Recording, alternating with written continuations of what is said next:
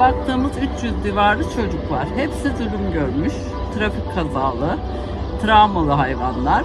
İlaç kullananlar var, görmeyenler var, üç bacaklılar var.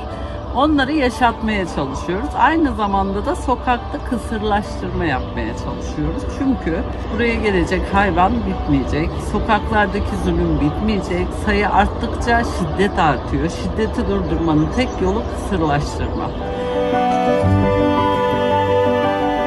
Paşa 2014 yılında iki bacağı kırılmış şekilde ihbarla getirildi bu merkeze. O günden bugüne de hem ruhsal anlamda hem de fiziksel anlamda tedavi görüyor bu merkezde. İki bacağından biri kurtarıldı ancak diğerini kaybetti Paşa. Şimdi onun gibi bu merkezde yüzlerce sevgiye,